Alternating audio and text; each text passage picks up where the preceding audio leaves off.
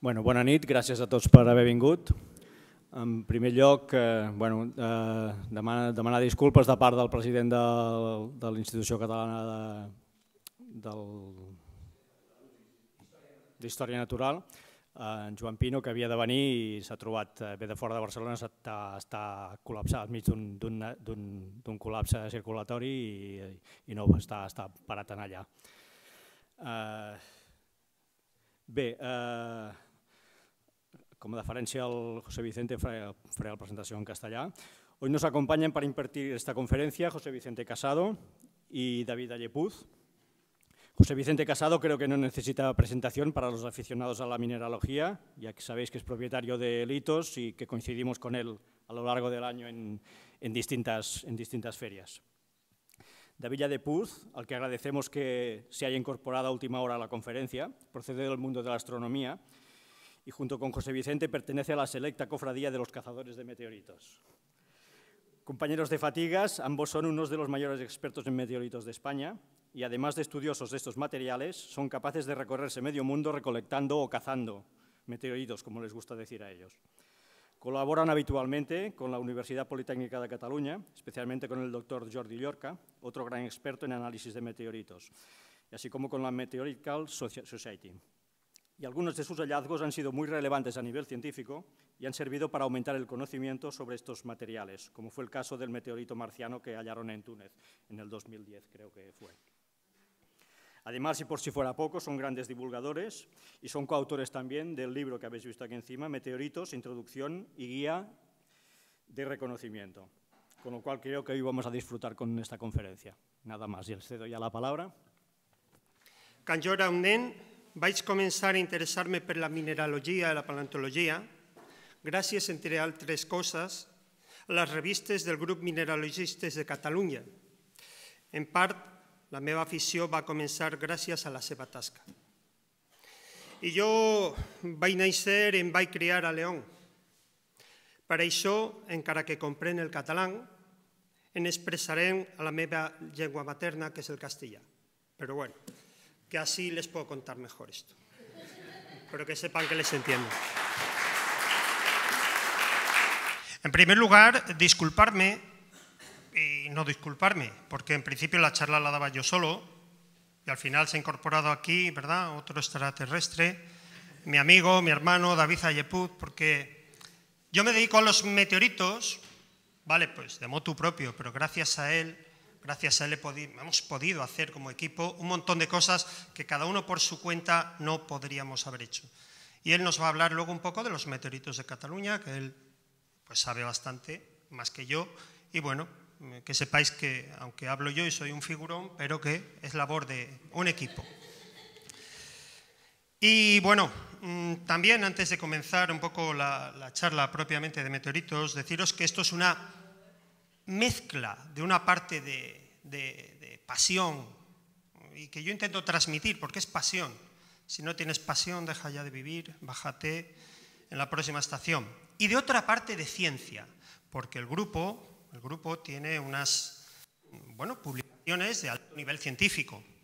En el momento que abandonamos eh, la ciencia como guía en todo esto que hacemos, estamos perdidos, somos juntapiedras, no vale para nada. Es realmente, como decía una periodista que por una vez captó muy bien, la semana pasada una periodista transmitió que eh, cada meteorito es una aventura intelectual, y realmente lo es. Cada piedra que, con, que sí, pegamos saltos y lo pasamos muy bien, pero sabemos que ahí comienza una aventura intelectual porque luego gracias al trabajo de Jordi Yorca, que no está aquí, que es realmente el faro que nos guía, ¿verdad? Porque gracias a sus estudios sabemos qué es aquello que hemos encontrado y sabemos esa, podemos comprender estos fragmentos de piedras negras, lo importantes que son. Sin ese trabajo no vale para nada. Entonces, bueno, vamos a contar, a ver, un poco, os voy a contar, les voy a contar una pequeña parte de qué es un meteorito. Muchos ya me habéis oído y muchos sabréis hasta mucho más que nosotros. Y luego, un poco cómo los buscamos. Vamos a ver, ¿qué es un meteorito? ¿Esto es un meteorito? Esto no, esto no es un meteorito. Esa la luz, ahí yo pienso que mejor, ¿verdad, Pep? Bueno, y así, así afortunadamente no me veis, que no hay mucho que ver y veis... Vale. A ver, esto es un meteorito. Eh, yo hago observaciones del cielo en verano en muchos lugares y toda la gente me dice, ¿he visto un meteorito? ¿He visto un meteorito? Esto no es un meteorito, esto es un fenómeno luminoso en el cielo, provocado por la caída, la entrada de un material que estaba en el espacio y que entra por la atmósfera terrestre. Esto, cuando es mm, de un, un brillo pequeño, lo llamamos estrella fugaz. Cuando sobrepasa un determinado brillo, lo llamamos bólido. Pero esto no es un meteorito. ¿eh? Pero todo el mundo asocia estos fenómenos luminosos con meteoritos. A ver, esta es nuestra atmósfera. Por ahí por el espacio hay un montón de objetos, los mayores los llamamos asteroides, meteoroides son los pequeños, de menos de 100 metros, y meteoros, meteoro es fenómeno en la atmósfera, viene de, de meteorón, fenómeno en la atmósfera del griego, las estrellas fugaces que vemos en verano, las Perseidas, o las que se van a poder ver dentro de poco, las Gemínidas, eh, que son mucho más bonitas ahora en diciembre, a primeros de diciembre, son, muy bonitas, son fenómenos que ocurren a unos 100 kilómetros de altura. Bólidos son un poco más grandes. Los meteoros, las estrellas fugaces, tienen el tamaño aproximadamente de un grano de arroz. Son muy pequeños, pesan uno, dos gramos, tienen esa masa. Los bólidos, vamos a suponer que son del tamaño de una mandarina, de una naranja.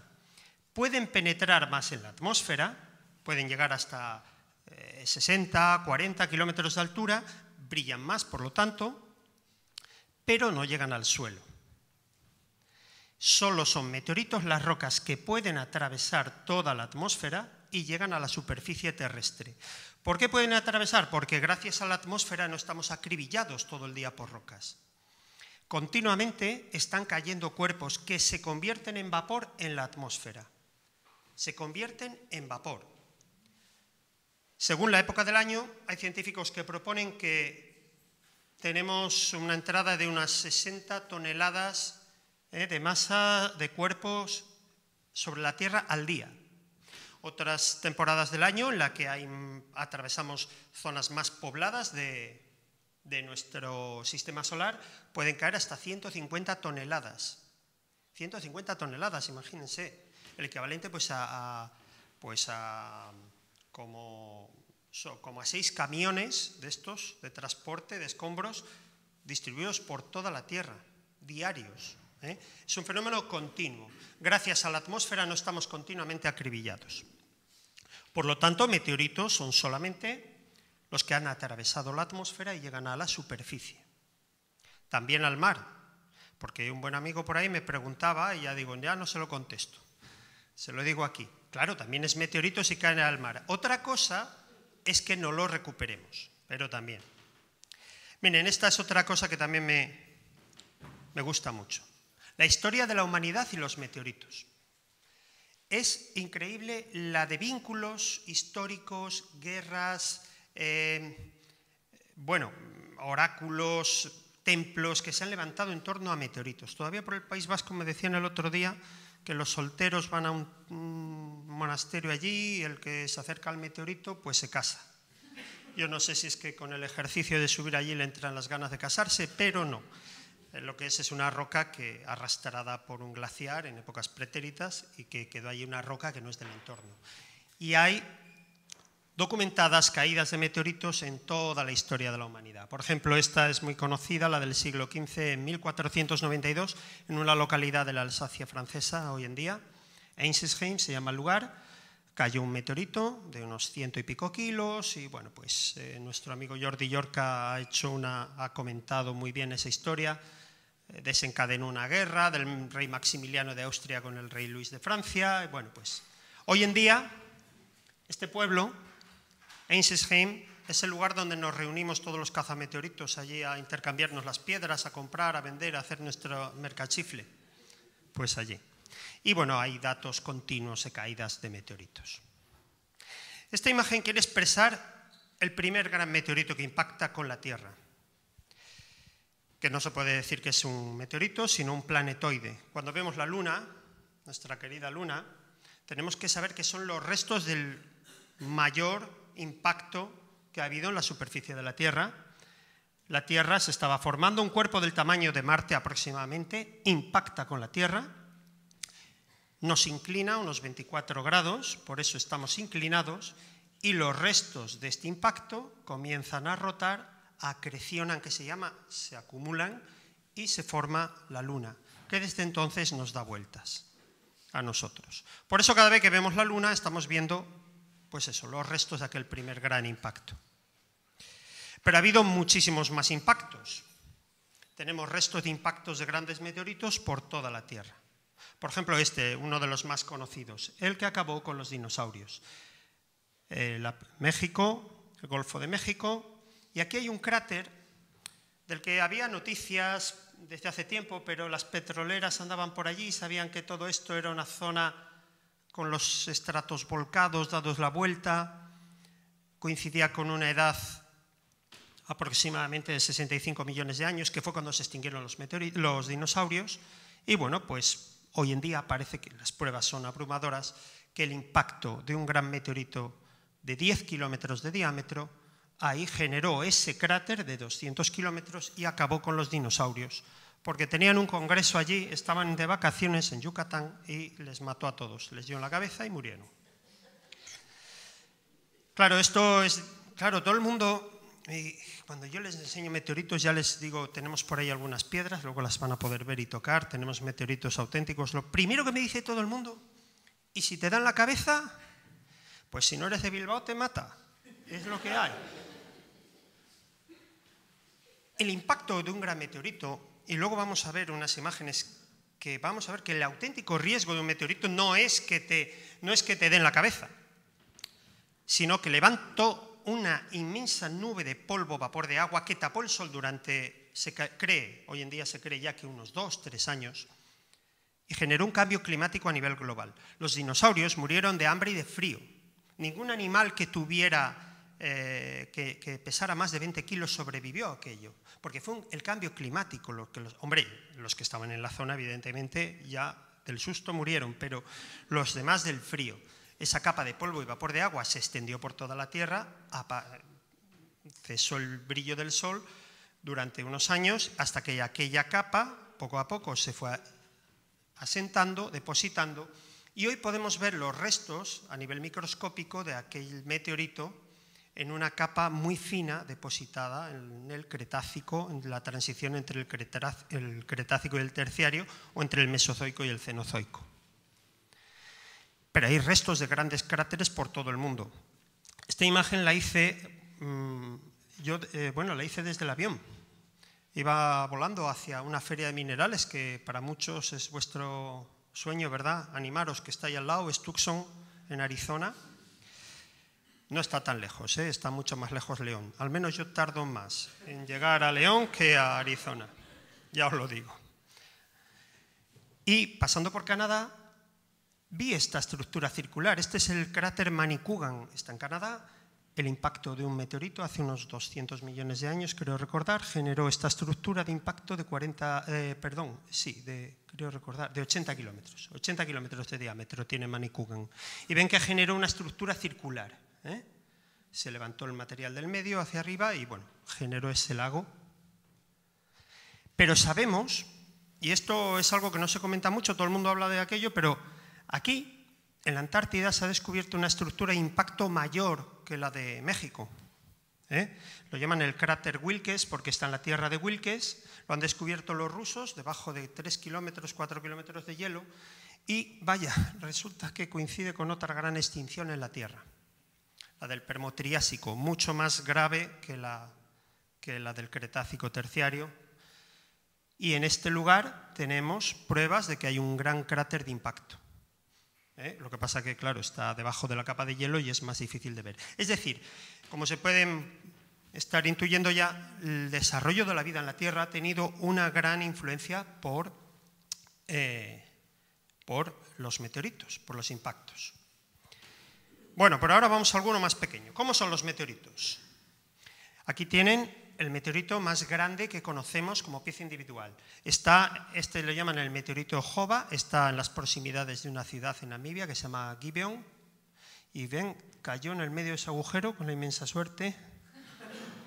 No, luego el agujero lo hicieron luego. Lo descubrieron unos agricultores eh, arando aquel terreno, los Boer, y luego pues bueno, han hecho un museo y la pieza lo merece. Unas 70 toneladas y bueno, es un meteorito metálico y también son así. Esto que tengo en la mano es otro meteorito. Es decir, los meteoritos de entrada son muy variados. Pueden ser grandes, pequeños, de metal, de roca. Hay mucha variedad. Bueno, ¿y cómo los distinguimos?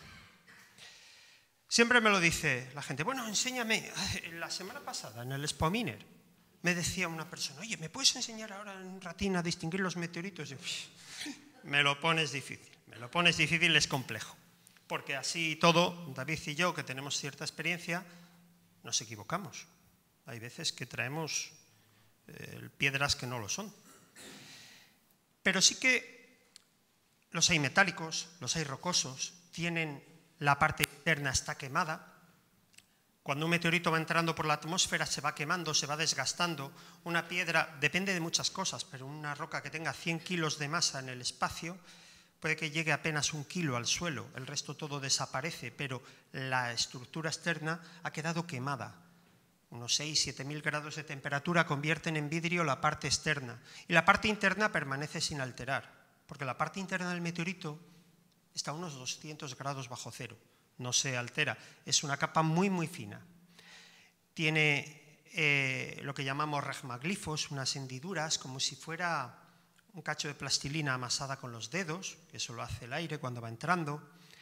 La parte, como digo, interna es más clara y además tiene unas estructuras que ahora vamos a ver un poco más. ¿Ven? Esto es el material quemado por la superficie del meteorito. Cuando llega al suelo, se detiene inmediatamente la fusión y ahí queda. Esto es un meteorito que cayó entre Toledo y Ciudad Real y ven el material fundido, ¿eh? esas escorriduras totalmente fundidas de basalto, ahí quedan como un vidrio amorfo y esto nos permite ¿eh? identificar que aquello es un meteorito. No valen las, piedras que tienen una capa de goetita alrededor de la pirita, ¿eh? que esto ya lo sabéis muchos aquí. Y luego también formas, formas cónicas hechas por el aire cuando va entrando. Otra cuestión, ¿dónde caen los meteoritos? Porque a mí me han dicho que caen muchos en un monte ahí en pues en, Siria, que caen muchos, y en Atacama me han dicho también que caen muchos. Esto es un mapa, ¿ven?, de ese periodo de tiempo. Nueve años, los que cayeron de noche en azul y los que cayeron de día en amarillo. ¿De dónde se han visto bólidos que han podido generar meteoritos? No hay ningún lugar preferente. Y si ampliáramos el tiempo, pues la distribución era totalmente homogénea por la Tierra. Ningún lugar en la Tierra tiene una referencia. ¿Dónde se encuentran? Bueno, aquí son hallazgos, claro, esto ya es de hace unos años, esto se va actualizando, hallazgos de meteoritos. ¿Dónde se encuentran más? Eh? No es eh, hallazgos exactos, sino porcentualmente. Encontramos más en los desiertos, Atacama, el Sáhara, los desiertos de Australia, muchos en Estados Unidos. Yo digo que aquí tiene mucho que ver la legislación, porque allí el que encuentra un meteorito es para él y lo comercializa y bueno, la gente se vuelve loca buscando. Y esto es así. ¿Dónde no encontramos? Pues no encontramos en las selvas de Brasil, Centroamérica, no encontramos en las selvas del centro de África, ni en las de Malasia, ni, ni por ahí. ¿Quiere decir eso que no hay? No, quiere decir que no encontramos. Esto es el desierto. Uno va por el desierto y si ves una piedra negra, no todas son meteoritos, porque además ¿verdad, David? Cuando íbamos por Túnez, hay unas cosas de este tamaño negras que a 100 metros de distancia, ay, ahí lo tengo, vas corriendo. Y evidentemente, cuando te acercas a esa desilusión, dices, otro camello que pasó por aquí continuamente, continuamente. No, hay muchos objetos que te hacen eh, hasta chatarra de la Segunda Guerra Mundial. Bueno, ¿qué, ¿qué, objetos? Hemos encontrado de todo, las cosas más insospechadas. Pero Hombre, hay una posibilidad de que aquellas piedras negras por lo menos merecen una visita y luego ya vas y es posible que algunas lo sean. No hay otra forma de buscar. Aquí cayó un meteorito, en Colombia. Cayeron centenares de piedras. Se recuperaron cinco, las cinco que cayeron en los tejados de las casas. ¿Quién se mete ahí? Llamamos a, mi paisano, al Fran de la jungla, para que se meta ahí entre las arañas. Y... Ahí hay meteoritos, pero no, les podemos, no los podemos recuperar. Pero, que quede claro que están por todo el mundo. Hay un lugar donde eh, los meteoritos caídos durante los últimos millones de años se acumulan. Toda la Antártida, en la Antártida han caído meteoritos en toda la Antártida por igual. Pero hay un mecanismo que mueve los glaciares, el hielo, desde el centro de la Antártida hasta el exterior. Casi toda la Antártida está rodeada de montañas, con una depresión central.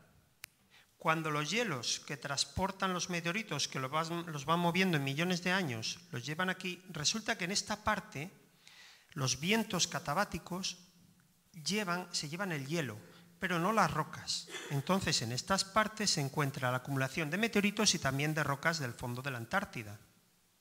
Y ahí hay acumulaciones de meteoritos.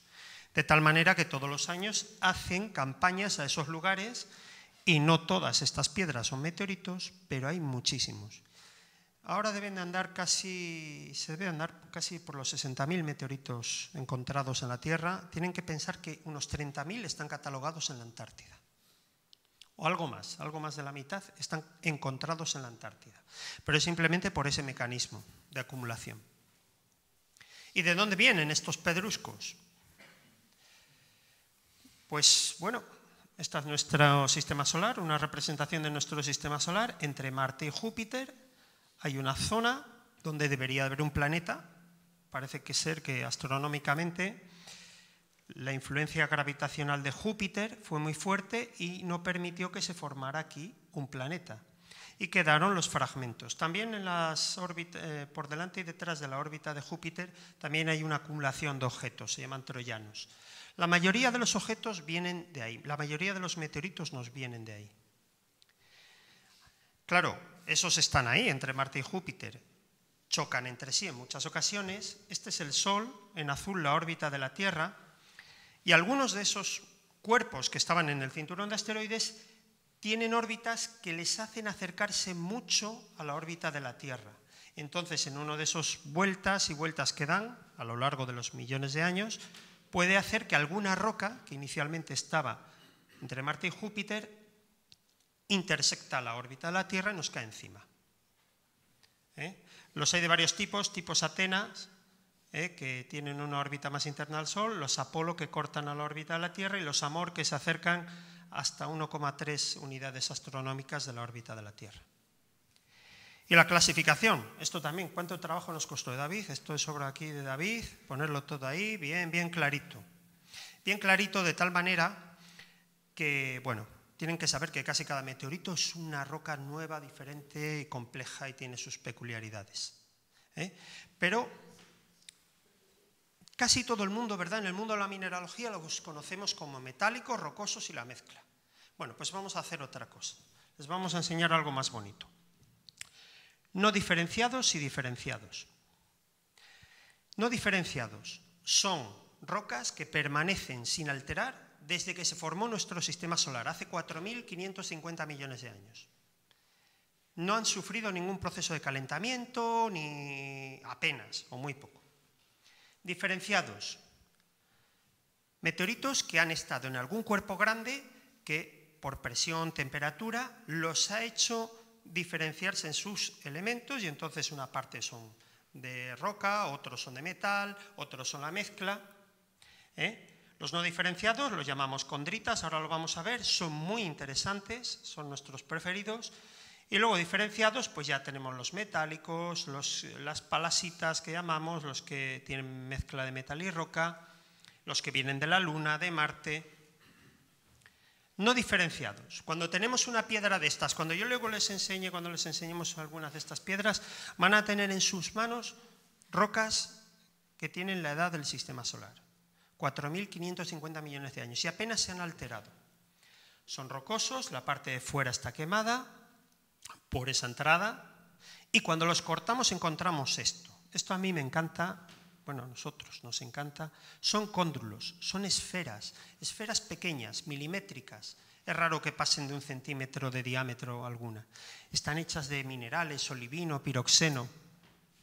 Ese material, cuando tocamos ese material, estamos tocando el material sin alterar el, material que permaneció sin alterar desde la nebulosa formó el sistema solar. No voy a abundar mucho en ello porque me alargaría de más, pero que sepan que es un material realmente interesante.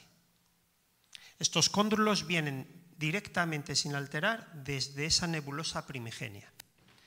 A veces tienen aros de, los rodean un tipo de, de marcasita, que la llamamos troilita, pero eso son olivino, piroxeno, tiene una serie de minerales que tienen su equivalente en la Tierra, pero con diferente estructura cristalográfica y bueno. Hay una parte, hay una parte de estos, de los no diferenciados, que se llaman condritas carbonáceas, son oscuros. Pongo aquí una imagen de un cometa porque tienen mucho que ver con los cometas. Este es el 67P Churyumov-Gerasimenko, es un cometa donde se posó la, la Rosetta y la Philae, la Philae se posó allí. Cuando tenemos en nuestras manos un meteorito de este tipo, una condrita carbonácea, es como tener la parte de roca que hay en un cometa. Un cometa está hecho básicamente de hielo y, roca, dicen que es hielo sucio. Pues la parte rocosa es equivalente a los meteoritos, a las condritas carbonáceas. Y tienen este aspecto, son muy interesantes, tienen unas partículas blancas que se llaman CAIS, que vienen de fuera del sistema solar tienen aminoácidos, se han encontrado aminoácidos en ellas, tienen un contenido alto en agua, son rocas realmente muy interesantes. Y luego los diferenciados. Estos vienen de Marte, de la Luna o de grandes asteroides, donde los procesos geológicos los han hecho diferenciarse. En la parte interna de los grandes asteroides, pues igual que en la Tierra, hay un núcleo de metal y en la parte externa hay eh, rocas basálticas y de otros tipos. Claro, pero ¿cómo, ¿cómo, hace una roca para salir de Marte o de la Luna? Yo, por cierto, por cierto hemos traído ahí, pues es una, una roca de la Luna, luego la veremos. Pues lo primero que tiene que ocurrir es que un cuerpo impacta en Marte o en la Luna, pero no verticalmente, tangencialmente, de tal manera que pueda arrancar rocas de allí y volverlas a lanzar al espacio.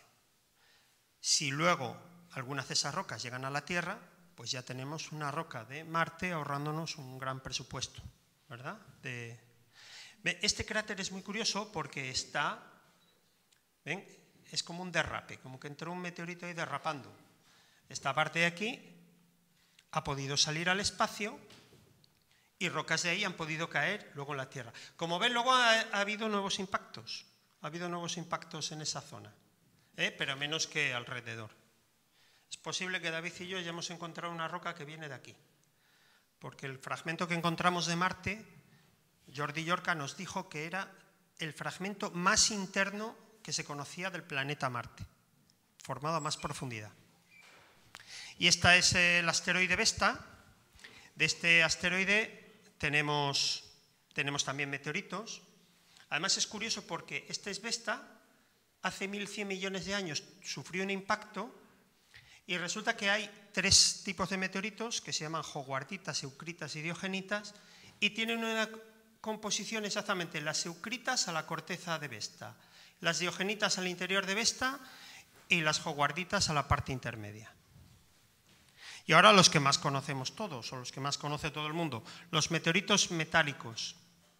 Estos son muy pesados, tienen una densidad de en torno a 7 y cuando cortamos un meteorito metálico vemos que dentro tiene una estructura de cristales de hierro y de níquel. Hace unos años se descubrió en la tumba de Tutankamón un puñal de hierro, un puñal ritual hecho de, de hierro. Perfecto si no fuera porque los antiguos egipcios no tenían hornos que les permitieran separar el hierro de los minerales de hierro. ¿De dónde habían obtenido el hierro los, antiguos egipcios? Pues evidentemente de un meteorito. Al analizar esa daga ritual, se vio que tenía un contenido muy alto en níquel. Los meteoritos tienen un contenido alto en níquel, en iridio, en osmio. Y lo que habían usado los antiguos egipcios era esto. Hay una reflexión que me gusta mucho, que, que vamos a ver. La industria que trabaja el hierro, la siderurgia, sideros, el cielo. El hierro, el primer hierro que conocen los griegos es el que viene de sideros, y por eso lo que trabaja el hierro es la siderurgia. Estos meteoritos vienen de la parte interna de cuerpos.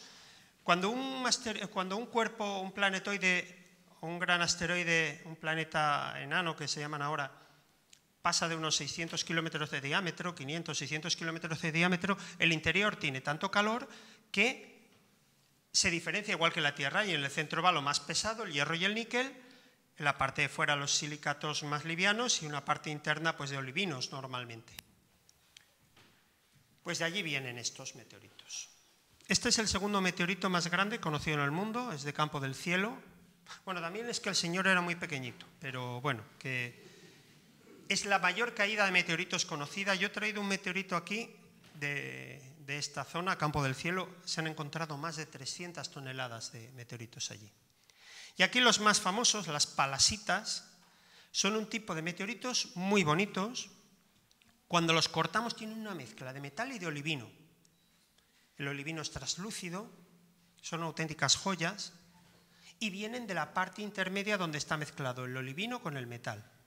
Claro, esto está tranquilamente por ahí dando vueltas por el espacio ¿Qué tiene que ocurrir para que venga algo desde allí?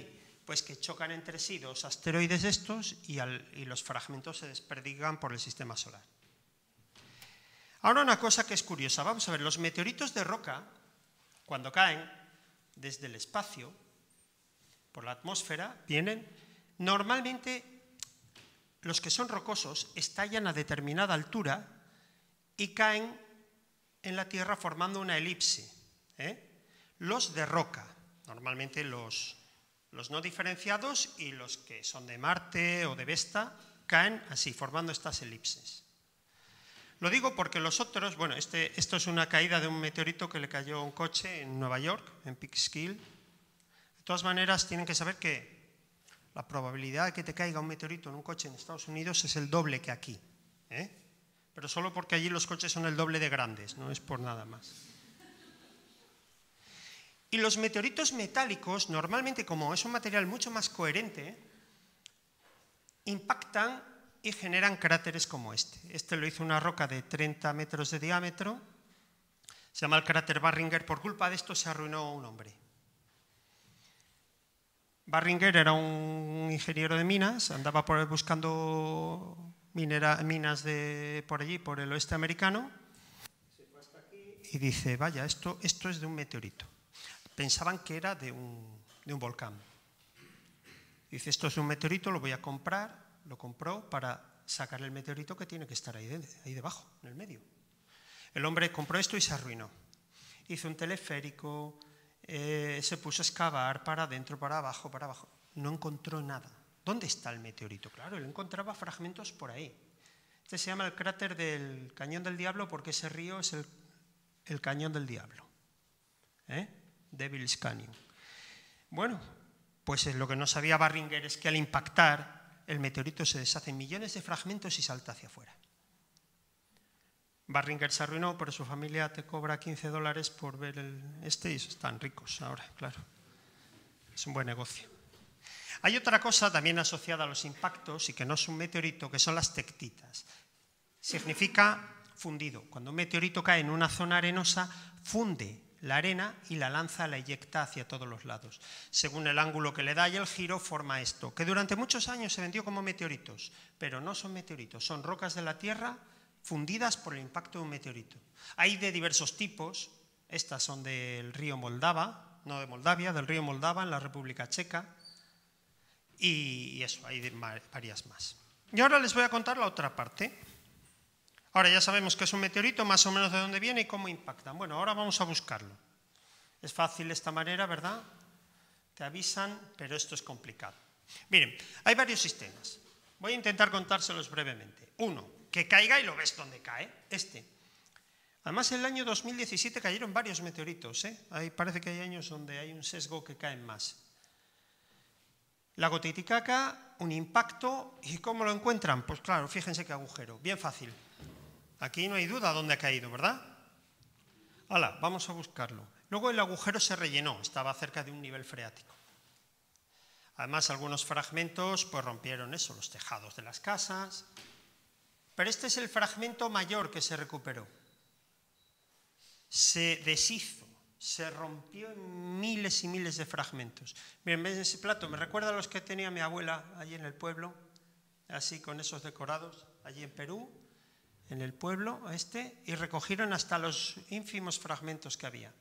Aquí es fácil, no hay que buscar más. Hace un agujero y lo que hay alrededor es meteorito.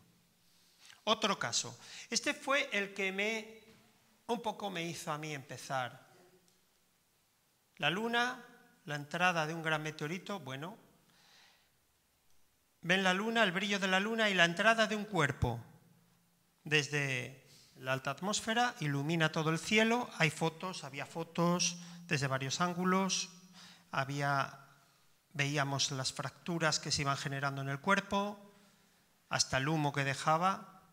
Bueno, no estoy yo ducho en esto. Bueno, entró desde aquí, lo vieron desde las Islas Azores, las estrellas son los lugares donde hay testigos. Bueno, hasta un señor en Cuenca nos juraba que le había prendido allí fuego en, en una zona. Fíjense, ¿eh? en Cuenca, y decía que había caído allí, y en Mallorca que había caído allí. Realmente vino, entró desde desde el Atlántico, generó esta trayectoria, yo como saben vivo aquí en León, estalló un poco al sur de León y el meteorito sigue volando en un tramo que llamamos vuelo oscuro, dependiendo del ángulo, dependiendo de su velocidad, dependiendo de muchas cosas, vuela más o menos y se distribuye en una zona por aquí. ¿Y qué haces para buscarlo? Pues ir. Allí estuve como cuatro días buscando y no encontré nada, absolutamente nada hasta que un hombre de la zona estaba sacando a pasear al perro, pueblo de Villalbeto de la Peña, y dice, fíjense, dice, yo estaba dando una vuelta con la perra, esto, bueno, pues, bueno, de aquí voy al club de la comedia, ya sabéis. Estaba dando una vuelta con la perra y vi una piedra negra ahí en el camino y digo, lo voy a una pata a ver dónde llega. Y dice, ¿y si fuera esa piedra que dicen que cayó? Y lo cogí y se la dio un periodista, el periodista la llevó a Madrid, vieron que era un meteorito y entonces supimos que había caído allí. Si no es este hecho casual, ese meteorito está perdido para siempre.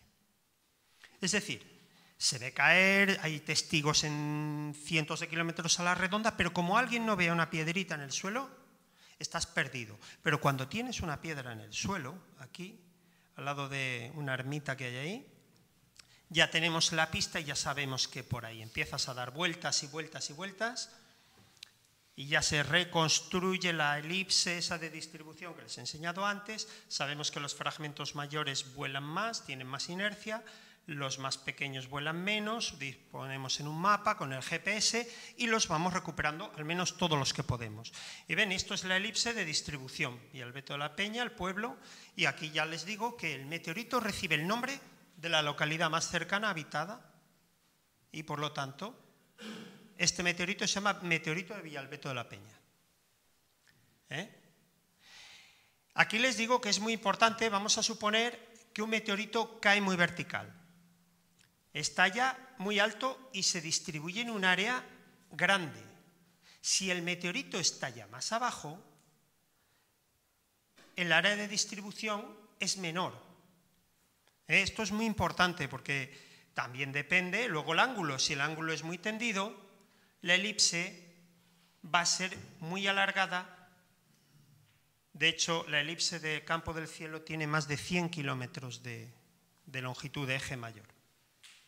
Y aquí lo que encontramos, claro, entre el musgo, ahí, ese fue mi primer meteorito. Es que, es que realmente, claro, hay que saber identificarlo, pero bueno, ya porque nos dijeron la zona, si no, ¿cómo vas a encontrar eso? Es muy difícil. Ponemos el GPS y bueno, no todos los meteoritos acaban con los dinosaurios, como ven algunos solo hacen cráteres muy pequeñitos. Toda la reconstrucción de ese hecho, de las imágenes, ha permitido concluir que este meteorito en el espacio venía de una órbita muy próxima a Júpiter. ¿eh? Esto es lo interesante. Otro, por ejemplo, Puerto Lápice. Estuvo menos testigos, pero vieron una bola de fuego y miren, esta es la mejor imagen. Hay muy poco, pero se va reconstruyendo, se va reconstruyendo y bueno, yo no fui. Yo soy un vago y no fui. Pero un alemán, eh, Thomas Grau, cabezón como el solo, vino y vino y vuelta para arriba, para abajo. Se puso a caminar por allí durante días y encontró uno. Lo trajo a un congreso que había aquí, le comentó a Jordi Yorca, he encontrado estas piedras en la mancha y nos dio las coordenadas y ya fuimos. Claro, con las coordenadas cualquiera. Don Quijote, Julio, un calor, la mar. Además, hay que ir en las horas centrales del día porque a primera y a última hora las sombras de las piedras son muy tendidas y no ves igual. ¡Qué calor! Y las uvas por madurar. No había donde agarrar algo fresco. Entre los olivares y piedras y piedras y piedras por la noche. Por la noche yo cerraba los ojos y veía piedras. Hasta que encuentras uno. Fíjense, un centímetro y medio. Es que encontrar esto tiene mucho de suerte. ¿eh? GPS y bueno, aquí mi amigo Robert Ward, que también encontró uno. Además, fíjense el aspecto. Es que es un olivar. Las, las olivas de los años anteriores tienen el mismo aspecto. Y las cagalitas de las ovejas también. Pero lo vemos quemado. Este fragmento además es muy especial. Vino del, del asteroide de Vesta y es emocionante. Puerto Lápice, el pueblo, y esta es la zona de caída. Lo pongo así muy grande para que no vayan y me los quiten, porque luego van y nos los quitan, ¿verdad? Nuestra opinión es que cuando hay una caída de estas, entre más gente vaya, más ayudan a, a buscar. Este meteorito viene de allí, de Vesta. Otro caso, Chelyabinsk, este en Rusia. Impacta y fíjense, destruye la onda de impacto ventanas, hirió a unas mil personas. Bueno, se le da el nombre de la ciudad, la localidad, y resulta que el cacho más grande cayó aquí, en un lago helado. Esto fue en febrero, ahí hace mucho frío. Está, mire, este, este y este están diciendo, métete tú que a mí me da, me da la risa. Fue a caer el fragmento más grande allí. Esperaron a septiembre, sabiamente, y encontraron en ese punto encontraron una roca de 600 kilos esta, el meteorito más grande de Chelyabinsk. Es un meteorito muy bonito, muy, muy reciente. Y fíjense el agujero que hacía. Como la parte de fuera está caliente, se va hundiendo, hundiendo también por el peso, y la gente que los cogía, cogía el chupitel para arriba y ahí arriba estaba el meteorito. Otro caso, miren, otra vez para allá, para mi pueblo. Esta señora estaba caminando cuando era una niña, en 1931, al colegio, que oyó como truenos y vio que caía una piedra ahí, en esa calle. Ella iba a la escuela. Agarró la piedra y un día se lo comentó a su sobrino y su sobrino dijo, uy, a ver si eso es un meteorito que cayó. Efectivamente, fue un meteorito, lo recogieron, lo analizaron, cogieron la piedra, la analizaron recientemente y resulta que era un meteorito. Esto es otra forma de encontrarlos, casualidad, gente que tiene aquello como un objeto arqueológico, curioso. Pero como no esperamos, a ellos pues búsquedas a ciegas. ¿Qué hacemos? Aquí está el David, miradlo, Ay, qué tío grande. ¿eh? Hace unos 10 años ahora empezamos un poco por idea de él, oye, ¿por qué no vamos a Túnez, que hay buena gastronomía y buen clima, y, vamos allí a buscar meteoritos? La idea parece descabellada, pero Yendo a los lugares, él escogió, David dice, estas zonas que no tienen arena, esta zona más amarilla tiene arena, pues ahí vamos a ir y ahí vamos a buscar.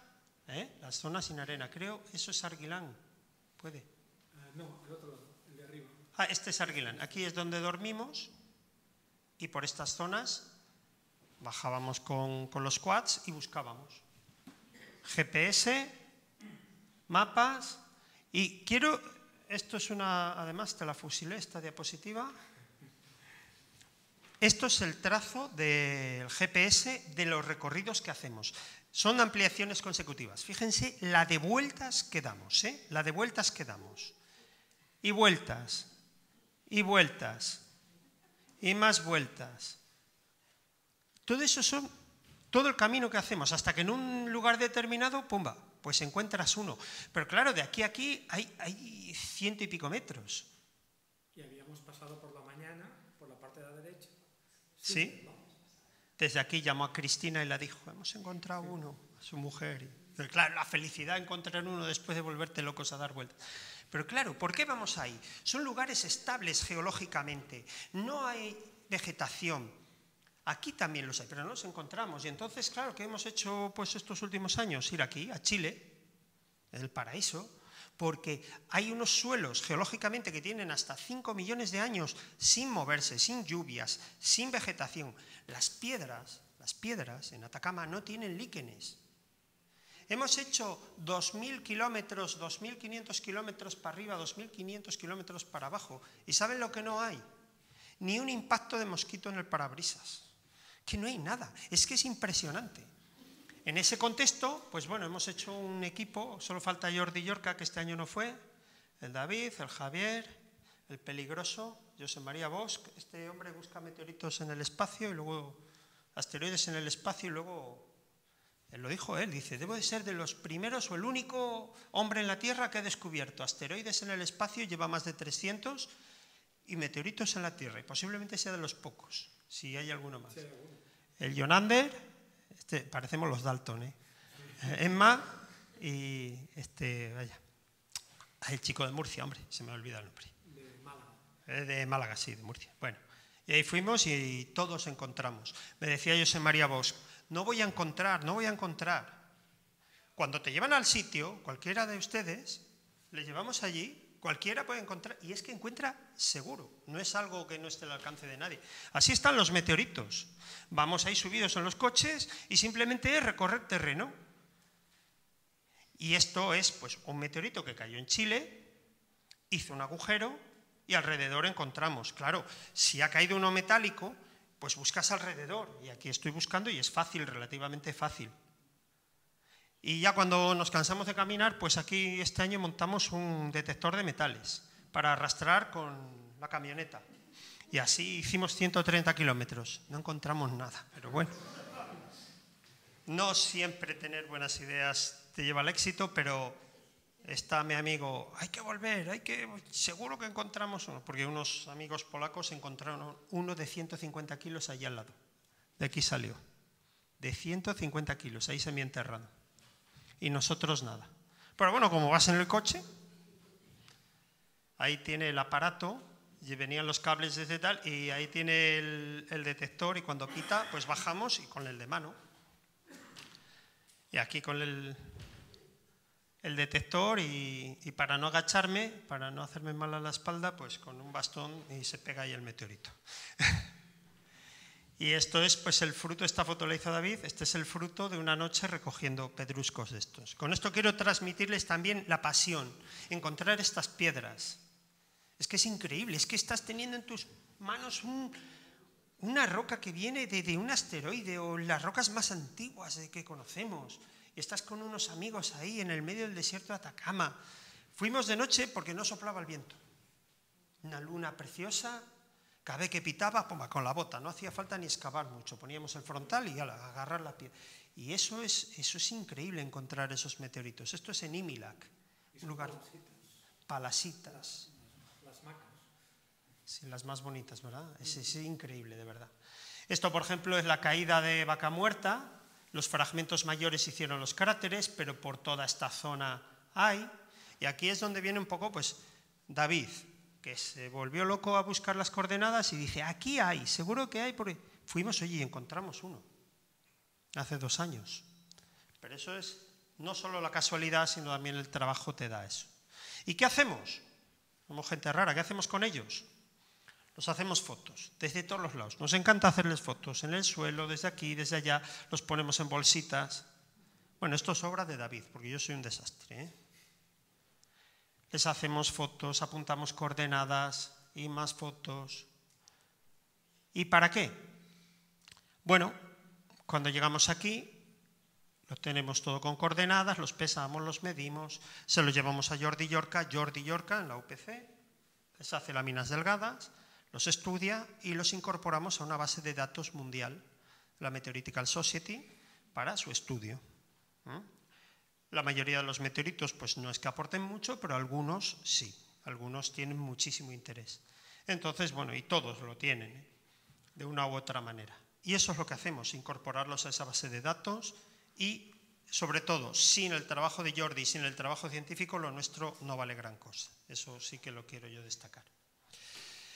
Luego, meteoritos falsos, pues aquí en Mallorca, que cayó uno, nunca se ha encontrado. Quiero decir con esto la otra parte, que, están continuamente dando falsos positivos. Posiblemente fuera un cacho de, de un cagaferro, un cacho de escoria, nada pero han dado guerra con esto y no hay un resto. Una de las cosas que se hace para buscar ahora es estas cámaras, o el Sky se llaman, están captando todo el tiempo imágenes y cuando hay un bólido que puede generar meteoritos, pues teniendo los datos de un par de estaciones, sabemos cuál es el ángulo de entrada y hacia dónde han podido caer los fragmentos. ¿eh? y entonces vamos a buscarlos. Aunque por lo que veo en este parece que se va al mar, así que poco podemos hacer ahí. Pero bueno, se monitorizan, hay cámaras de seguimiento de esto por todo el mundo, redes de, seguimiento, y algunas, sobre todo en desiertos, han dado resultados positivos. Pero la mayoría, la mayoría se pierden. Miren, este, Madrid, 13 de julio, un brillo, estuvimos por allí tres días, nada. Este, estuvimos aquí pues una semana larga, en total entre varias veces. Seguro que hay piedras en el suelo, seguro. D'aquest la... seguríssim, però seguríssim, seguríssim. Però en lloc de caure a la zona de secà, li va donar per caure enmig de la zona del blat de moro. Entre los maizales... Es que tienen que caer en la zona buena. Bueno, afortunadamente gracias a esto conocimos a José María Bosch y bueno, pero seguro hay piedras. Nos decía, ¿verdad? Un payés nos comentaba que estaba echando eh, de comer a los cerdos por la mañana y que oyó como, como un ruido. Además, aquellos días había caído un avión o algo así, pensó que era un avión que caía. Seguro hay piedras en el suelo, pero eso son chiquititas. Yo solamente he jugado una vez al golf. Cuando sea rico jugaré más. Pero miren, había una bola del tamaño de la bola del micrófono. Pero era rosa, rosa fosforito como no tengo ni idea de golf, mandé unas hierbas. Estaba allí, era rosa fosforito y no la encontré. ¿Cómo voy a encontrar una piedra de 1 o 2 centímetros en el medio de un maizal? Dense cuenta la dificultad. Este también estuvimos dando vueltas, testigos de ello, estalló ahí entre Granada, esto fue recientemente, el año pasado. Cayó, bueno, pues lo mismo, y resulta que fue a caer en el peor sitio. Otro caso, el de León. Yo estaba allá en, yo estaba en Alemania este día, me llama un amigo, oye, José, que ha caído un meteorito encima de tu casa. Digo, no me fastidies. No me fastidies. Lo dijo. Miren, las estrellas son los testigos que lo vieron. Él, desde su perspectiva, vio que había estallado encima de mi casa, pero el meteorito estalló aquí, el bólido tuvo lugar aquí, y lo más probable es que cayera o en Asturias, que vete a buscar allí, porque, bueno, o que se fuera al mar. En esta parte de vuelo oscuro hay una posibilidad grande que fuera a acabar al mar. Quiero transmitirles con eso que la dificultad es enorme en encontrar meteoritos. Miren, meteoritos en España. Desde Barcelona, Barcelona, Berlanguillas, Barea, bueno, hay muchos, Garraf, Gerona. Eh, solamente, solamente tenemos dos recientemente. El de Puerto Lápice, que les he hablado, y el de Villalbeto de la Peña. Como en 13 años tenemos dos y desde el año 47 tres nada más. Desde el año 47. Ahora vamos a Marruecos. Marruecos tiene una superficie similar a la de España. Hay muchísimos, ¿eh? hay, un montón de, meteoritos. Pero es que miren, eh, eh, muchos, pero que traen del desierto. Pero aquí he recogido solamente los que han caído. Miren, desde el año 90, bueno, desde el 1932, pero sobre todo desde el año 1998, cada vez que ha habido un bólido en Marruecos se han recuperado las piedras. ¿Por qué? Porque las ven, porque el clima desértico favorece que se, vea y porque la gente los busca, se vuelven locos en ir a buscarlos. porque saben que vale algo de dinero y, los buscan. Es decir, una superficie similar a la de la península ibérica tendría que dar como un meteorito al año, pero no los encontramos. La mayoría se nos pierden. Por eso a ver si cogemos aquí algún otro aficionado y se anima a buscar. ¿eh? Pero eso, que sepan que es que la mayoría se han perdido, sin embargo en Marruecos se encuentran. Que sepan que es muy interesante recogerlos, encontrarlos, no les doy guerra con eso. Y nada, ahora les voy a contar unas pequeñas anécdotas rápidamente, porque David luego nos va a hablar de esto. ¿Qué pasa si te cae el meteorito? Pues bueno, esta mujer tuvo buena o mala suerte. Buena, buena. te veo, Jordi. Eh, buena suerte. Vendió el coche, se exhibió por Tucson, vendió el meteorito. Este hombre estaba haciendo una foto a los hijos, luego se pusieron para reconstruir el momento. Le cayó a los pies un, un fragmento. Este muchacho le cayó en la cabeza. Lo pararon las hojas de los árboles. Pero miren, les cuento una cosa. Uganda, 1992. El SIDA estaba haciendo estragos. La tribu pensaron que se lo enviaban los dioses para acabar con el SIDA. Agarraron los meteoritos, los molieron y se los comieron. No todos, pero una buena parte. Este chico iba al colegio y le cayó un mini meteorito un mini meteorito ahí en la mano. Si no le cae en la mano, pues claro. Y esta mujer vivía en, Estados Unidos y miren qué piedra rebotó en un aparador y bueno, porque la dio en la cadera, si la da en la cabeza, pues, pues la mata. De personas no hay casos de alguien que haya muerto por impacto, sí se sabe o así se cree. El perro de Nakla en Egipto, que le mató un meteorito de Marte. Tiene narices te mate un meteorito y además de Marte. Y también una vaca en Venezuela. Este, miren, este hombre tuvo dos suertes, una que se hizo dentista y otra que le cayó un meteorito. Aquí le cayó otro en, un, en el coche y esto es lo que yo todos los días voy al buzón y nada, solo hay facturas. Ven. Pero aquí le cayó en Claxton, se llamaba el lugar cayó en el, buzón de correos. Y estos son los cristales de, de Chelyabinsk. Dense cuenta que los heridos no es por el impacto. El auténtico peligro de un meteorito es la, la, onda expansiva. ¿eh? O que cayera en el mar cerca de una zona habitada y fuera suficientemente grande como para levantar un tsunami, que eso sí sería peligroso. Bueno, algunos de estos cristales los cogió el famoso buscador de meteoritos Mike Farmer y entonces te vende el meteorito de Chelyabinsk con un cacho de cristal, ¿eh? que puede ser de ahí o vete a saber de dónde, pero bueno, hay mucho mito en esto. A otra cosa que cae, del cielo y no son meteoritos, esto. Cayó del cielo esta piedra y estaba caliente porque fundió el, el plástico de alrededor. ¿Qué es esto? No lo sabíamos, pero yo cuando la vi resulta que ya había visto de esto. Esto es sílice amorfa. Esto viene de las placas solares de los satélites. Cuando cae es chatarra espacial y estas placas solares son de esto. También caen otras cosas del cielo, esto. Depósitos de titanio y más cosas. Y ya voy acabando y les cuento esto, falsos meteoritos. Unos tipos que habían encontrado una palasita ahí en Rusia, Sirokovsky, la llamaron.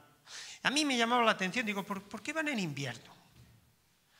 Claro, porque las fotos son más chulas. Ese frío, porque no van en verano. Yo me sonaba raro que habían encontrado este meteorito, este tipo de ahí. Se le ven por la calle, no se fíen. Es un tipo peligrosísimo. Bueno, les pillaron porque cuando se fue a analizar la piedra, daba de edad isotópica cero. Los elementos eran los mismos que los de la Tierra. Los meteoritos, aunque no hay ningún elemento que no se conozca en la Tierra, sí la relación de sus isótopos es diferente y propia para cada parte del sistema solar, para cada cuerpo del sistema solar. Aquí esto daba que el olivino era de los Urales y de isotópica cero. Lo empezaron a vender a 100 dólares el gramo, cuando les pillaron acabaron vendiéndolo a 10 el gramo, luego ya no valía nada y ahora vuelve a valer entre 10 y 15 el gramo, porque se acabaron. Lo hicieron en unos altos hornos de armas de, Estados Unidos, de Rusia. Y eso sí, los timos, las falsas creencias, escorias, eh, bueno, pues esto que era un meteorito de la Luna, cuando se ve claramente que es un resto de fundición, un nódulo, fíjense, bien barato, 50.000. Este en Lleida. Lo siento si está aquí la persona que lo colgó, pero es que no es y no es. Esto es un nódulo. Los nódulos de minerales que hay por las rocas calizas, se disuelve la caliza y queda el nódulo, pero no es. Y bueno, con esta imagen de una lámina delgada de un meteorito, de un tipo muy especial, de uno de los diferenciados, esto nos gusta mucho, las láminas delgadas. Son, los meteoritos son, son especiales, nos cuentan cosas de nuestro sistema solar, nos motivan mucho y nos hacen, nos hacen tocar el espacio, ya que no podemos ir a él. Y ahora les dejo brevemente con David, que les va a hablar un poco de los meteoritos que han caído aquí en Cataluña y que sepan que eso, no quiero insistir mucho, pero que en buena parte todo lo que hemos hecho ha sido gracias a que hemos estado juntos, ¿no? liándola ahí. Y que hemos liado más gente. Sí, que hemos liado muchos más por ahí. Este aquí, ¿verdad, David? Toma. Bueno, ahora les va a hablar alguien que habla con, con conocimiento de causa. A ver. Sí. Digo, yo, a toque, sí. Ah, no. Pues no. ¿Qué pasa ahora? Dale al F5. Sí, es a donde le he dado, David. Ahí. Ahí, ok. Ah, però jo l'altre. Hola a tothom. Bé, doncs, eh, jo us parlaré molt, molt breument, però molt, molt breument, vale? dels meteorits caiguts a Catalunya. Eh, són els meteorits que, que s'han pogut recuperar a Catalunya històricament des de, des de fa força temps. Curiosament, no hi ha cap meteorit trobat a Catalunya des de l'any 1905. És a dir, que ja fa més de 100 anys, així que ja tocaria, i si us plau, a les terres de Lleida, que són planes, eh? no, no a la part del panís, que diuen ells, sinó a la part bona. Llavors, a veure, eh, si mirem la Meteoritical Society, a la, a, la, a la base de dades, trobem que figuren uns quants meteorits aquí i eh, un ja directament el posen com a meteorit dubtós. Des de 1850 ja dubten que fins i tot fos un meteorit i aleshores aquests són els meteorits que figuren allà. És una base de dades que és pública, eh? vull dir, si voleu entrar podeu mirar, podeu xafardejar i, i es pot fins i tot posar-ho tot en el Google Earth i veure on, on ha caigut cada un, està força bé. Llavors, en sí que estaríem parlant d'aquests meteorits i d'un més que no figura aquí i que el tenen al, al museu i que ara us explicaré per què. Anem, anem històricament. Històricament, un dels, el, el primer meteorit de, català del que es té coneixement és un que va caure, curiosament, el dia de Nadal, és a dir, en ple Nadal, la tarda de Nadal, quan tothom estava després d'haver de, de, fet un, el dinar, el 1704. 1704, en plena eh, revoltes dels segadors i tot, aquesta, tot aquest tema històric, i eh, del qual eh, se'n van recuperar certes peces, diverses peces, es parla d'un total de 2 a 5 quilos, hi ha molts testimonis, però totes les peces estan desaparegudes, no se'n coneix cap. És a dir, eh, se'n parla, és un dels meteorits que es va utilitzar el pare de la meteorítica, que és un, un alemany que es deia Chladni i que era el, el qui va acabar convencent a tothom, un científic que va convèncer al final de que els meteorits no eren un fenomen atmosfèric sinó que venien de l'espai. I, i, I una de les coses en què es va basar és en aquest meteorit vale? i en un altre que va caure a França, que estaven molt ben documentats amb milers de testimonis. Fixeu-vos que per ser d'aquell any doncs, encara es troba, podem trobar 28 documents de testimonis presencials. Entre ells aquesta pintura de Josep Bulló del 1717, que és una, una pintura en què es de les característiques d'aquest bòlid, que és que es va dividir en tres parts, es va fragmentar en tres trossos, va travessar tot Catalunya, es va veure fins i tot des de, des de França, i fixeu-vos com, com el descriu aquí baix, us he fet l'ampliació, senyal del cel que amb grandíssim estruendo aparegué el 25 de desembre, dia de Nadal, de l'any 1704, a les 4 hores de la tarda, fou cosa molt horrorosa, així per trobar-se l'hemisferi ben clar i serè, com per lo gran rimbombo i resplendor que feu. I segons havent observat, se pot dir que era presagi de les misèries i calamitats que ha patit i pateix tot el regne d'Espanya i més en particular el Principat de Catalunya. Vale? És a dir, en aquella època si veien alguna cosa, era, era un símbol d'algú, era algo que ens enviaven. Llavors, en aquella època en què estaven ja així una mica en guerra, doncs hi havia qui deia que la cosa era a favor o que era en contra. I llavors ja aquí ja anaven fent les seves interpretacions de les senyals que, que els enviava el cel. Llavors, des de 1704 la cosa desapareix fins que a, a Nulles, el 5 de novembre de 1851, cau un, cau un meteorit, van caure a 8 quilos, gairebé 9, i com que hi ha tants quilos, eh, la veritat és que en aquella època en què ja el, el 1790 va ser quan el Chladni va fer la seva teoria de que eren pedres de l'espai i per tant es van establir certes col·leccions a, a Viena, a París, a Estats Units i llavors es van començar a exposar en els museus. I per tant hi ha peces d'aquest meteorit en molts museus del món, museus d'aquests històrics antics, i, i aleshores aquí, si en voleu veure, n'hi ha el Museu Blau, vale, que està aquí a, a, a la zona del Fòrum, al, al Museu de Història Natural de, de Barcelona, podeu veure aquest exemplar vale, que ens van deixar fotografiar. N'hi ha, ha aquests dos exemplars que ens van deixar fotografiar. I aquest és un, és un exemplar que hi ha a Madrid, que n'hi ha tres trossos, al Museu de Història Natural de Madrid, un d'ells de 7 quilos, amb tot allò que deia el José, dels, dels regmalips, allò que es veuen aquell, com si fossin ditades, estan molt ben mostrades i tot. El següent que va caure eh, aquí a Catalunya va ser el de Canyelles, el 14 de maig de 1861. També n'hi ha, ha uh, diversos exemplars. El va estudiar el Faure Sans cap en 1921. El Faure Sans va ser un estudiós de, dels anys de principis de segle, a l'època aquella en què també hi havia el Comas i Solà com a astrònom aquí al, al Observatori Fabra i, i va fer estudis dels meteorits, de tots els que hi havia, i va fer un estudi molt, molt sistemàtic i molt bo de tot el que hi havia. I l'Ignasi Casanova i el Jordi Llorca el van estudiar a l'any 87. Són 945 grams en varis fragments i n'hi ha varis, varis exemplars per tot el món, però curiosament aquest és un exemplar de Madrid que va fotografiar el José, perquè igual que nosaltres al Museu Blau ens va donar permís i ens va treure tota la seva col·lecció perquè la fotografiéssim, la peséssim i, i la mesuréssim i ho féssim tot, al José li van permetre el mateix a Madrid i va poder eh, fotografiar. I en aquest és l'exemplar de, de Madrid. Serà pes uns 59 grams o així. Vale? Aquest és el que no figura a la Meteoritical Society. No figura a la Meteoritical Society per què?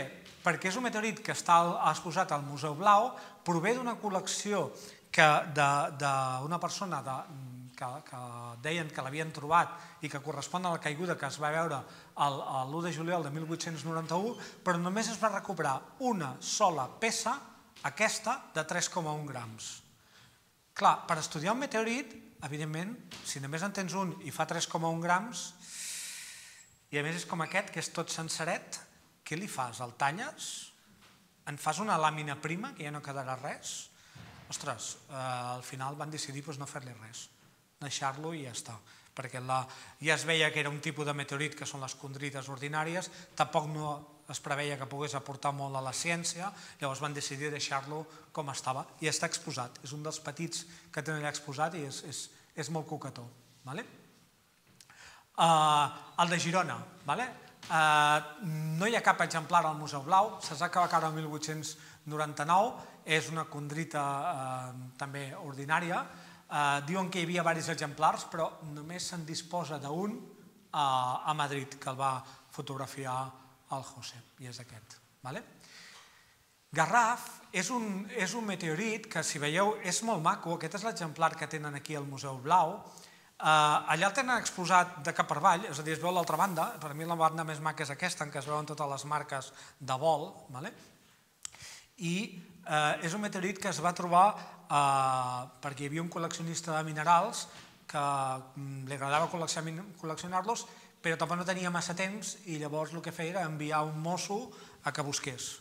Vale? I llavors un dia va tornar amb, amb un tros d'això, i un tros, eh? no, no amb aquest, sinó amb un tros, que també tenen al, Museu Blau, i va dir, ostres, Això ho he trobat per allà, i clar, quan ho van veure van dir, eh, eh, alto, que això és un meteorit. Llavors van tenir una certa feina per trobar-lo, és a dir, va tornar amb un tros perquè li va picar cop de martell, eh, per emportar-s'ho. Llavors, van tenir certa feina per tornar a localitzar on era, perquè aquell dia havia, recollit molta pedra, allò que se'n recordava més o menys, al final el van localitzar i el van portar i aquest és el tros que, que, que es va trobar. Vale?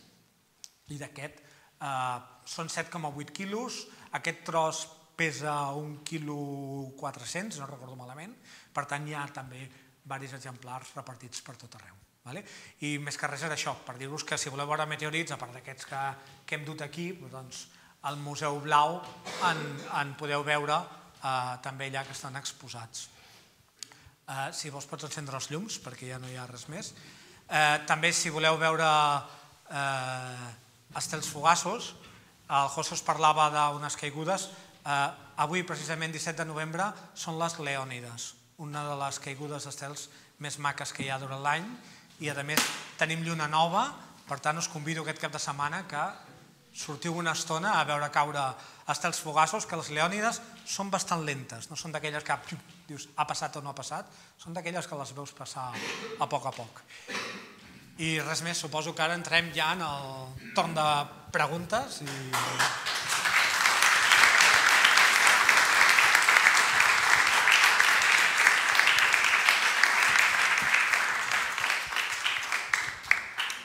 Bé, si voleu... Sí. Després palpamos, després palpamos. Si, si algú té alguna pregunta, si plau, aixeca la mà, jo m'apropo i li dono el... Sí, hola.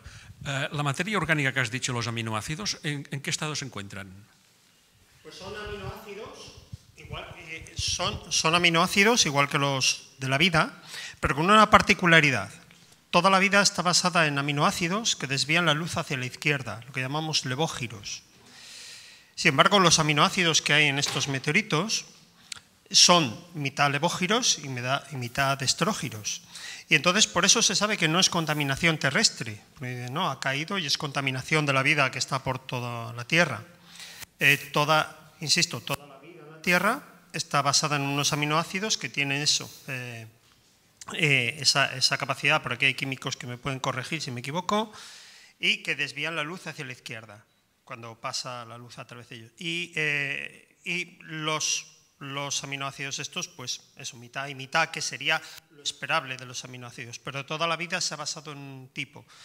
Entonces, claro, esto sugiere o podría sugerir mmm, que vino materia orgánica, cayó materia orgánica en la Tierra, eh, en un meteorito, mm, eh, pues en nubes moleculares en el espacio, que, gran cantidad de materia eh, orgánica o de una química muy, muy, muy primitiva, eh, una, química de la vida muy primitiva, pero con el sesgo ese que eran aminoácidos a los que vinieron allí a partir de los que se desarrolló toda la, la Tierra. Esto, claro, siempre como suposición, ¿no? Pero es, se diferencian únicamente eso, pero son aminoácidos igual que los de la vida en la Tierra, es lo mismo. José Vicente, te voy a pedir un favor y es que os sentéis para que podáis hablar a través del micro, porque si no vamos a estar corriendo arriba y abajo. ¿Alguna otra pregunta, sisplau? ¿Sí? Hola, buenas. Uh, el tema aquello de los micrometeoritos, esos que decían que se recogían en, las, en los tejados de las casas, que eran sí. pequeñas bolas, ¿eso ha llegado a algún sitio? ¿Son ciertos? O sea, ¿son realmente Yo, yo en eso sí que, sí que tengo, tengo, cosas interesantes que contar. Bueno, he dicho que todos los días caen meteoritos. Todos los días caen meteoritos, 60, 70 toneladas, micrometeoritos se vaporizan en la atmósfera y luego lentamente, claro, van cayendo una nube de partículas. ¿Qué ocurre? Mucha gente se le ocurre, bueno, pues eh, voy a poner en los canalones de mi casa unos imanes muy potentes y cuando llueve todo lo que sea metálico lo va a coger y, como algunos meteoritos son metálicos, pues lo que yo voy a coger son meteoritos metálicos. ¿Qué ocurre? Que vivimos en un mundo en el que las chimeneas, los coches, la contaminación, hay un sesgo tremendo de material terrestre artificial que cae en nuestras terrazas, que cae por los canalones y no lo podemos diferenciar bien de, un auténtico meteorito que venga de un micrometeorito que venga del espacio. Pero hay otra forma más sencilla, ya está el trabajo hecho. vamos a un lugar, yo lo descubrí buscando oro. Mm, bateando oro, mm, separas los materiales más pesados. ¿Y qué es lo que bateo yo? ¿Qué es lo que lavo yo? Lavo sedimentos de hace millones de años, donde no había fábricas, no había coches, no había la contaminación actual. Entonces yo al batear estoy separando eh, materiales por densidad. El oro es lo que se me queda más atrás, que es lo que tiene más densidad específica, tiene 19,6 por ahí, y, y la arena se me va. Pero en el medio me quedan materiales intermedios, me quedan minerales, wolframitas, casiteritas, y yo eso todo lo miro, lo miro para ver de dónde viene el oro. Y viendo eso me di cuenta que había unas esférulas, y esas esférulas son micrometeoritos, pero que no han caído ahora, han caído hace millones de años. Los procesos de sedimentación son continuos en toda la historia geológica de la Tierra. Entonces, yo estoy convencido, si tenéis interés en encontrar meteoritos, mucho mejor que poner eh, un imán en el canalón para que atrape todo lo metálico que estamos cogiendo una partícula de cada 100 podría ser un meteorito, un micrometeorito. Vamos a un sedimento de calizas, lo ponemos en ácido y te van a quedar pequeñas esférulas que como tengan mm, pues cristalizaciones octaédricas, más o menos en algunos lugares, algunos cristales de hierro y níquel como los que se ven aquí sobreviven incluso, ¿eh?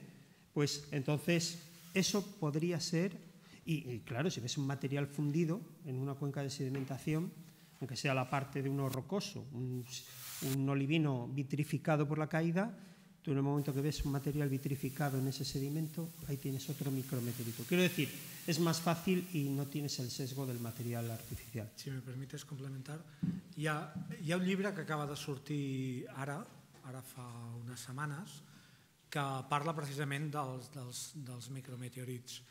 Uh, es basa en un estudi que ha fet una, un anglès en què s'ha dedicat a, a buscar-los però d'una manera molt sistemàtica però en entorns urbans i en entorns, com diu el José, així eh, no, no estàndards, perquè l'altre és anar-se'n a l'Antàrtida o Groenlàndia, començar a fondre gel i et queden els micrometeorits, evidentment, però no és, no és, no és el plan.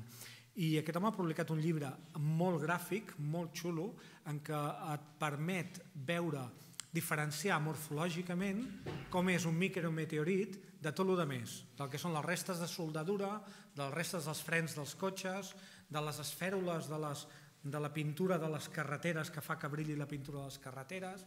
Totes aquestes coses són contaminants que acabes agafant com si fossin micro, micrometeorits i que ten, per moltes característiques ho semblen.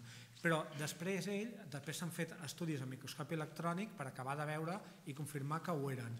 I és un llibre, eh, si heu vist aquells llibres que van publicar ara fa un parell d'anys que es diu Elements, en què estan tots els elements, és un llibre tan gràfic com aquell, on ho explica tot, on hi ha quantitat no només del que són els micrometeorits, sinó a més de tot el que són coses que enganyen. Vale? És com un catàleg visual dels micrometeorits i del que no ho són. Està molt bé aquest llibre. Es pot trobar per Amazon i em sembla que valia 23 dòlars o així. Jo me'l vaig tragar tot sencer en dos dies. El tema de saber... No, sí, bueno, si el tema de saber si es un meteorito de Marte o de Vesta o de la Luna, porque la composición química mineralógica es la misma, porque si el sistema solar se formó al mismo tiempo, todo es igual. Eh, me llama la atención cuando decís, no, es que este es de Marte o este es de tal o este de cual. Y siempre vais a parar, al con todos mis respetos, ¿eh? al tema de los isótopos. Entonces, si me puede explicar un poco tema ese isotópico, ¿qué diferencia hay entre, para poder diferenciar si es a nivel, pues no sé. Sí, sí, sí, sí. Mira, mira, mira. Este, Explícame un poco esto de, mira, del tema isotópico porque somos no... David y yo, somos David y yo. Paul Walkie. David, David, ven, que tengo aquí una piedra, tengo aquí una piedra rara. Tengo una piedra rara. Yo no le dije, tengo un meteorito. Te dije, tengo una piedra rara. Andábamos con los quads, vamos más o menos a una distancia, le llamo por walkie, va. Parece, no parece, es, no es. No lo supimos, no lo sabíamos. No nos, porque resulta que es un basalto y en la Tierra hay muchos basaltos y claro. I tot i que la zona era sedimentària, i dius què fa aquí aquest basalt, després penses, bé, aquí pot haver passat durant 10.000 anys tothom i algú portar una pedra de basalt. Sí, ¿Vale? porque hay puntas de flecha, útiles prehistóricos. Vimos eh, unas, eh, unos molinos de mano hechos con, con piedras volcánicas, no sabes. Entonces, de entrada, eso, y está grabado. Sí. La piedra rara, y yo digo, ¿por qué es pequeña? Si fuera grande aquí se queda.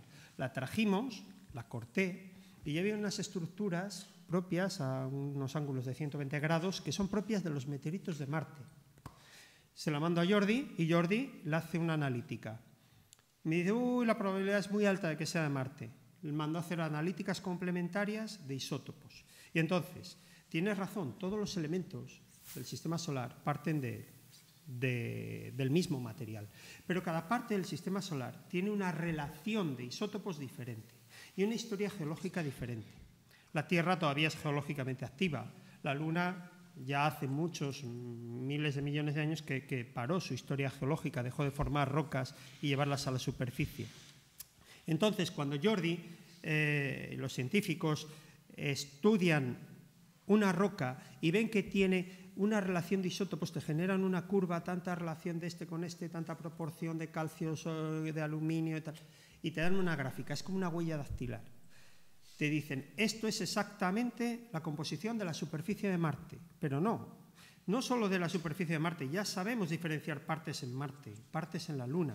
Es decir, ahora ya sabemos, esta piedra de aquí, esto es un meteorito de la Luna, viene de la Luna, pero sabemos que es de las, cuando vemos la Luna, es de las partes claras, es de las montañas de la Luna.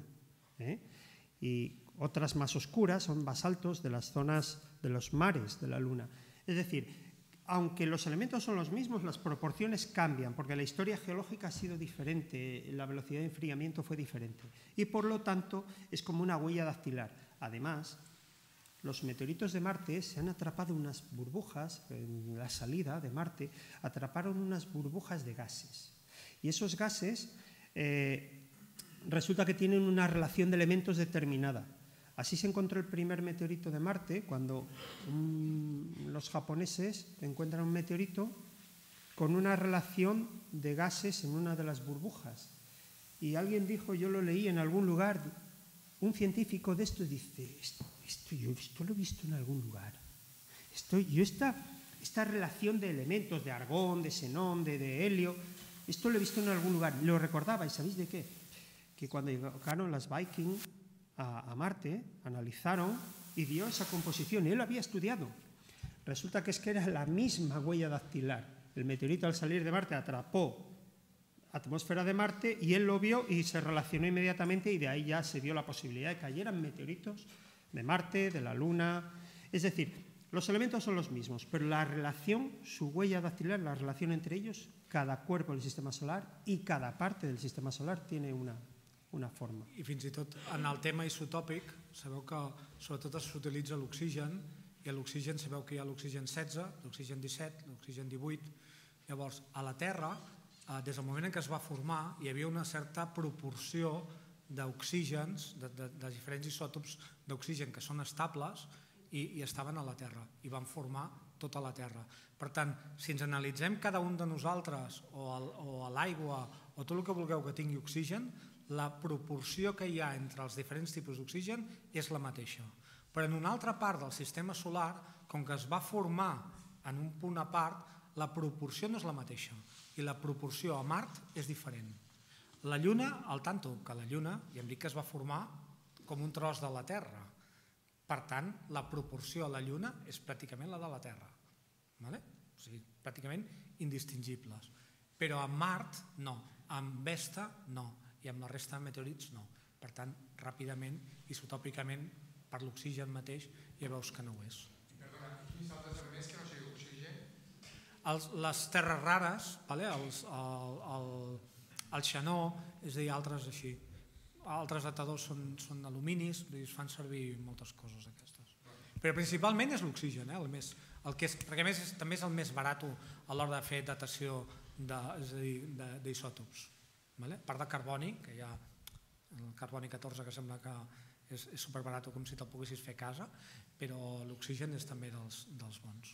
Sí. Més preguntes? Teniu alguna pregunta més? Encara podem anar per Nulles a fer una volta? Jo us ho diria, que vosaltres que us agrada buscar minerals, que busqueu, ara ja, teniu, ja sabeu com són. Mm si us trobeu una pedra... És a dir, la majoria de gent que ve amb un meteorit a nosaltres, he trobat un meteorit, no ho és. No ho és. Vale? I, i el José ho diu moltes vegades, que segur que si ho és li peguen una patada i no li foten ni cas. Vale? Però bueno, ja teniu una miqueta més la idea de com és. No? Sí, hombre, por buscar. Además, eh, resulta que al final todas esas piedras que nos traen, que parece, yo un día me van a pegar porque a todo el mundo le digo que no me... Un, hombre se me enfadó mucho y dice, ¿qué pasa? ¿Que solo vas a contar a tu meteorito? Y yo, no, bueno. Pero es que me traen unos, unos cagaferros y unas cosas que, la proporción de, mensajes que yo recibo, de, de, que tengo un meteorito, ¿sabéis con qué, con qué aumenta? Con las lluvias del otoño. Cuando la gente va a buscar bolets, y ahí y todo el mundo se empieza a fijar y pues, no encontráis ningún Rolex, solo encontráis meteoritos. Pero bueno, que la historia es muy interesante porque la gente parece que se, se fija más en las piedras y es interesante, es una forma de, de, ver otras piedras que te pasan desapercibidas, porque todo el mundo quiere un meteorito y todo el mundo quiere que valga un millón de euros. Porque el meteorito, el de Retuerta al Buyaque, es un meteorito de 100 kilos y me lo vendían por un millón de euros porque se querían hacer un chaleco de hermano. De entrada, lo más importante, el interés científico. Y luego, es que los meteoritos no valen un millón de euros. El que había encontrado su tía al meteorito pequeñín, oh, está ahí, pero si me das un millón de euros, o sea, da igual el tamaño, el tipo. Precio estándar. Pero vamos a ver, vosotros creéis que yo hago los millones de euros. Es, que es, es, como el mito de que te dan la cabeza. ¿no? Sí, porque como has encontrado tanto, debes tener muchos millones de euros. ¿no? Claro, sí, sí, mira, meteoritos, yo no soy rico. Hombre, tengo mucho dinero, pero rico, rico. Pero bueno, he traído para que luego sí, podáis ¿Te ver. parece que no si les, les, presentamos lo que hay aquí para que sepan Sí. lo que ven? Luego podéis ver y tocar. eh, tenemos aquí un meteorito de Campo del Cielo de Argentina. Este es especial, lo he traído porque es un poco especial. Tiene muchas hendiduras, resmaglifos. Tiene una serie de agujeros que son muy interesantes. Estas hendiduras lo he traído por eso. Normalmente ahí hay nódulos de grafito. Ese grafito también se da en la Tierra, pero claro, el grafito que está en los meteoritos, como ha sufrido choques, tienen nanodiamantes. Y bueno, es una piedra bastante estética, normalmente no son así. Aquí he traído un meteorito Senchan, este viene de Rusia, y ahora cuando lo veáis, cuando os acerquéis, veréis que tiene esos cristales que se llaman eh, líneas de Wittgenstein, estructura de Wittgenstein, por el científico que lo descubrió. Eso sale cuando atacas una lámina de un meteorito con ácido nítrico, afecta más a un mineral que a otro. Los meteoritos de hierro están hechos de dos minerales, taenita y camacita, afecta más a la camacita que a la taenita y genera esta estructura tan bonita. Luego aquí tenemos un meteorito sahariano. Está, me gusta porque, bueno, aunque está así quebrado y tal, pero esta parte, la más brillante, estaba asomando eh, por encima de, de, la superficie y esta parte es la que estaba conservada debajo de la tierra y bueno, se ve que pasó varios miles de años en esta posición, le daba el sol y el sol le afecta hasta los meteoritos. Así que ya sabéis, os protegéis en verano. ¿Eh? Sí, lo sé. Luego tenemos dos cortes de meteorito rocoso, uno en el que no hay esos cóndulos porque fue un meteorito que fue, sufrió procesos térmicos, pero es curioso porque tiene como unas líneas de material fundido.